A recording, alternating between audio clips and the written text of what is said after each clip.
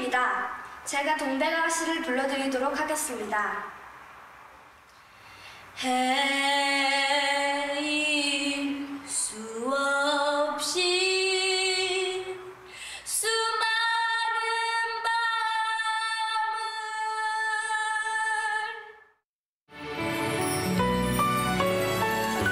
복숭아처럼 사랑스럽고 눈부신 미소로 우리 곁을 찾아온 배우 설리.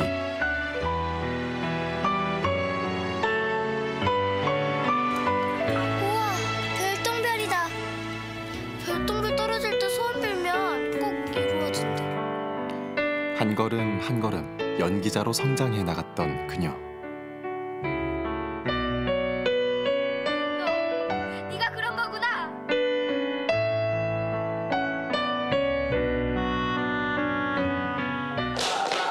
그리고 가수라는 새로운 꿈을 위해 밤낮 없이 노력했던 시간. 치고 치고 저때 진짜 저때 툭하면 울었던 거죠. 제가 원래 눈물이 정말 많았어요. 피해가 간다고 생각해서 그때 엄청 힘들었던 기, 기억이 있어요.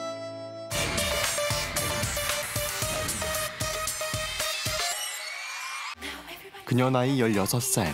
드디어 그녀는 FX라는 이름으로 가수의 꿈을 이뤄냅니다.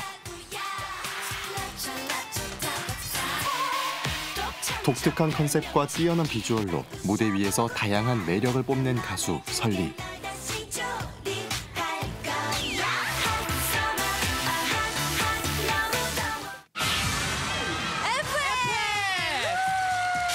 그렇게 스타로서 대중들에게 인정받았고 갖고 계시면 되겠네요. 축하드립니다. 축하드립니다. 이후 방송, 화보, 광고 등 각종 분야의 러브콜을 받으며 다채로운 매력을 뽐냈던 그녀. 그렇게 최고의 인기를 누리던 시기에 악성 댓글과 루머로 활동을 중단해야 했습니다. 하지만 힘든 시기를 극복하고 다시 배우로서 대중 앞에 선 설리. 재검사를 받아보시는 게 좋을 것 같습니다. 여자가 물어볼 땐 그렇게 바로 바로 대답하란 말이야. 그렇게 다시 대중들과 소통하며 환한 미소를 찾아가던 그녀는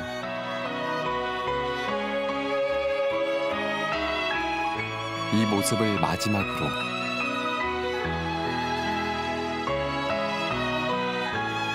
우리의 곁을 떠났습니다.